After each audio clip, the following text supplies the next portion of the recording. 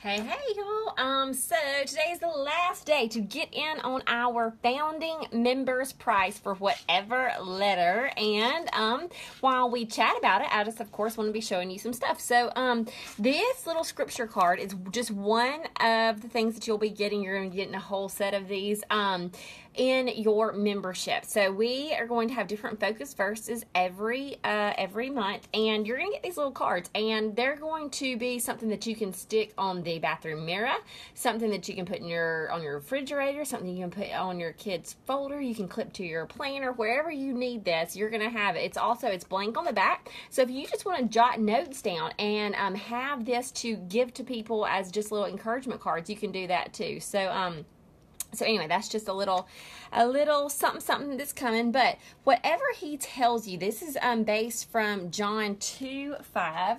And I'm going to show you how we did this picture. So I've gone ahead and penciled it out. And to begin with, what I'm going to be using today is just uh, um, my black Tombow marker, um, a pink and a gray. I'm going to get a light pink and a dark pink light pink and dark pink, and some water. So I've gone ahead and penciled it out. As you know, I like to um, to plan the way that I write this out.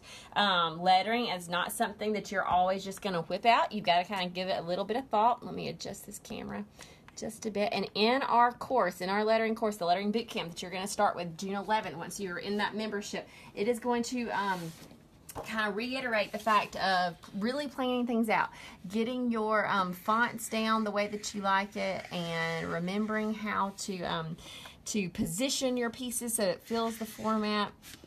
Right now, I'm just going to let you kind of watch me. So as you can see, I've got this piece of paper up under here because I've already, I keep making mistakes, my same old mistakes as always, and getting, getting paint on my hand. And so you don't always have to do that. Um, but if you are working on a surface that um, the paint stays wet for just a little bit, or not the paint, but the sometimes it'll be the paint.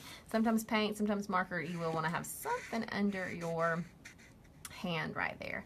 So for whatever he tells you, I um, you're going to see that we have found so many of these whatever verses. And I think that a lot of people, the first time they hear about whatever letter, they think it sounds maybe a little flippant or maybe like we're going to draw whatever letter you want to. but really, whatever letter, um, you know, it's based off of, you, you, let's think on these things. Whatever is pure, whatever is true, whatever is right, whatever is new, all of that. But then once we really started researching, there are so many whatever verses that really are used in a very different way than what we're used, the way that we use the word whatever. And so in this, um, in this particular verse, this is when um, in John 2 5, it is at the wedding, and Jesus' first miracle, they have um, ran out of wine. And this says this is his first recorded miracle. However, his mom still knew that, you know, that this is Jesus, this is the Son of God.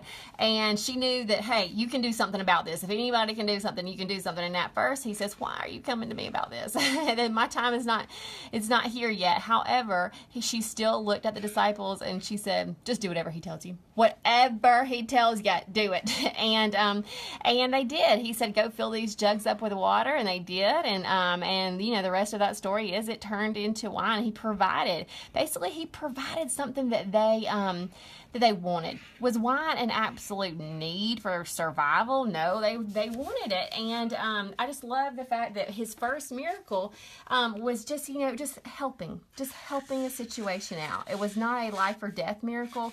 It was um, just helping, and I love that she had such faith and just was like, "Hey, whatever he tells you." And so when I look at that verse, I think, okay, that that same kind of marching order is to us too. Like whatever he tells you, even if it doesn't make sense always, or you don't, um, you know, you're not totally understanding why he's telling you to do what he's doing. I'm sure they didn't really know why, whenever they ran out of wine, why he said fill these up with water. I mean, they might be like, okay, what, what, why? Um, so you're not always going to know the why, and you're not always going to know the end story. Um, but uh, but you know, whatever he tells you to do. And y'all, this whole lettering group for me is that. Um, so it's uh, he's he's told me for years just to open my mouth and to use my mouth more, and um, and he's given me art and I love doing it and so um, this whole group is is me trying to trying to obey and um, and do whatever he tells me to do All right, so you maybe you're watching so far and you've probably not seen too much new. Um, I had, you know, I did plan it out first. I made sure I didn't have too many um, empty spaces as far as those negative spaces go. Again, something that we will talk a lot more about in our boot camp as far as what to look for. I'm thickening those downstrokes. But what I really want to show you is the next thing. And if you watched our um, tutorial with the feather, you will you would have seen um, a similar technique. So with these Tombow markers, now I'm using the Tombow markers and I'm using watercolor paper. However, you can do this same effect. If you have got your um, child's like a washable Crayola markers, you can do the same thing. So I've gone ahead and penciled out where I want the flowers to be. I'm going to still kind of put this here.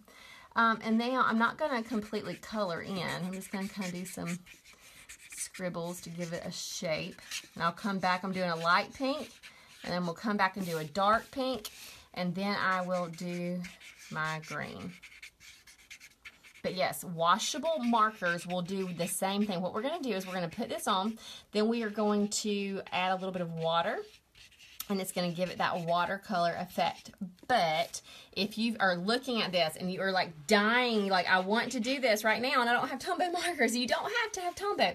If you've got Crayola washable marker, any washable markers really, but um, uh, I do like Crayola. Sometimes I've had some of the cheaper markers that don't have quite as much pigment and they don't work as well. But Crayola washable markers or um, on watercolor paper, the paper is kind of important.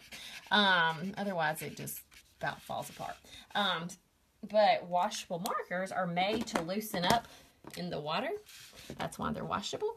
And so when you um, add water to them, they loosen up and you're able to kind of turn them into watercolor. So here I'm coming back in, a little bit of this darker pink. I'm intentionally leaving white and I will continue, oops, you're not seeing that, I'm sorry. Um, I will continue to leave white even when I paint it. I like for there to be a little bit of the white. You can see it's a very kind of a scribbly thing. And I did this on Bristol paper too, and it worked. Um, it didn't work probably as good, but this right here was on Bristol paper. Okay, so um, as long as it's a thick paper. I think watercolor paper works better for this technique because it's made to hold water. Um, but that one, it worked decently. Okay, so I've got my pinks on there. Now I'm going to quickly add my greens. Now, whatever letter, our membership, um, this is our, our beta launch. This is our first time um, opening up this membership, which means we have offered it at a... Um, at a founding member's price. We are not sure until we get into it and if we're going to be able to keep it at this price because we may see that, hey, we've got a lot more that we want to send out, that shipping turns out to be more than we think. You know, there's all kind of factors that we just don't know until we get into it. And so we cannot guarantee that the next time that we open this, um, that it will still be the $27 a month price. However, once you lock into it, we are not going to change it on you. So if you lock into the founding members um, price, that will be your rate unless you decide to cancel. Um, all right, so I've got that on there. Now I'm going to get my water and I've got a watercolor brush. I'm going to do the light green first just because it's easy. I'm not having to think too much about it. I don't have to leave too much um, white space or anything with that. Now, the black, since I did it in a Tombow marker, it would react to water too. So I'm not going to put any water on it right now. I don't want it to be blending. Now, you could avoid that by if you did this with Sharpie instead of the Tombow, then you could put water all in the background if you wanted to. You could paint it, do whatever you wanted to do. Uh, but since it's Tombow marker, if we add water to it, it's going to all go crazy. Okay, so here we go. We're going to add just a little bit of water, kind of kind of shaking that hand, similar to how we did it whenever we um, we're doing the markers a little bit at a time. What I'm not doing is just going straight across or up and down or all in circles. I'm just first, I'm loosening the markers and leaving just a little bit of that white space. Okay, so here I'm going to rinse that brush again. Going to kind of shake my hand, kind of loosen the markers and leave some white if you have got any questions about the lettering club, I have tried to answer as many as I can think of. Um, it's all online. It's you will have access to the videos for as long as you are in the club. Uh oh, that started running. I'll get that in a little bit. Um, trying to think of what other some you can you know you can cancel at any time we will be sending you some supplies in the mail we are not sending the whole shebang just because um right now I don't know that we can uh, fit it all in an envelope for everything that you'll need forever. Like for example, when we do um, chalk painting, or chalk lettering, I'm sorry, we might send you a small chalk little surface. We're not going to send you a big old chalkboard. Does that make sense? Or when we teach about how to letter on glass, we will send you the pen, but we're not necessarily going to be sending you the glass. So I don't want you to think that every single piece that you need will come into the mail because the, the majority of the value of this membership will be our lessons and our community. But we are super excited to be able to send you every single month art card or an art print, scripture cards, and a set of like little surprise goodies that are going to help you getting started with your projects that we do. And then we will do those projects in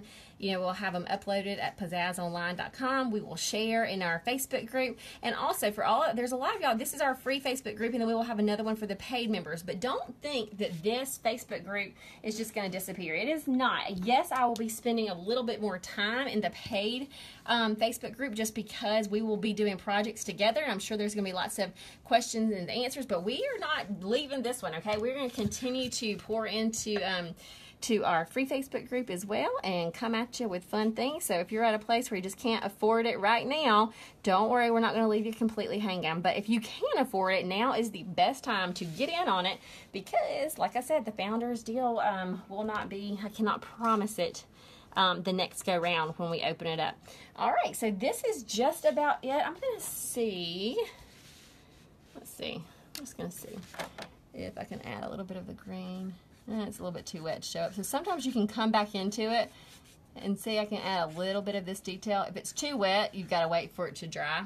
Some of these are wet and some are not. But I could even do the same thing with um, with the roses if I wanted to. I don't think there's too much of a need to do it to the roses though. All right, so y'all, um, later on tonight, I'll be doing a Q&A for any last minute questions that you may have about this membership, about how it works or anything like that. So if you've got questions, be sure to let me know. And um, and here is this, whatever he tells you based on John 2, 5, let's just, um, whatever he's already told you to do, let's just, uh, kind of let's do it. Let's uh, not beat around the bush. Let's not make excuses. Um, let's just do it. All right y'all have a good day